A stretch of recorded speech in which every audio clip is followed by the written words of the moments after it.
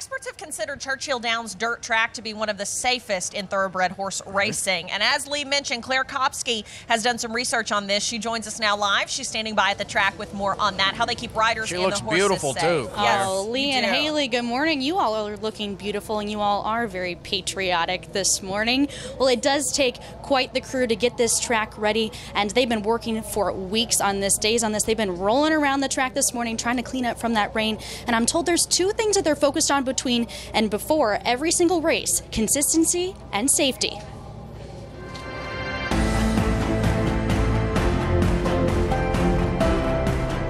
Harrow, row, condition.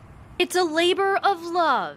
We don't do the same thing every day. We we change up, like we don't grade every day, but we do harrow and roll every day and put water on when it needs it. Bruce Kincaid has been taking care of the precious dirt and turf at Churchill Downs for 30 years. We're proud of what we do. We're proud of our racetrack.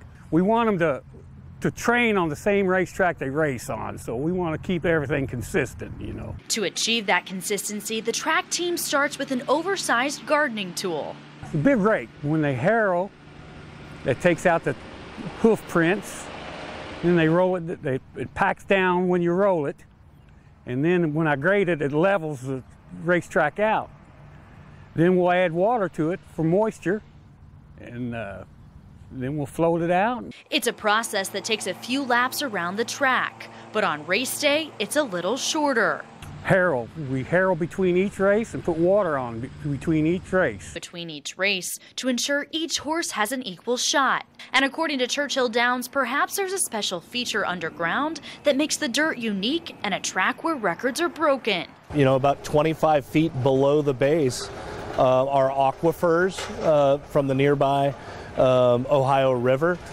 Perhaps that's what makes the composition of the track um, so popular with horsemen. A one of a kind track for a once in a lifetime race.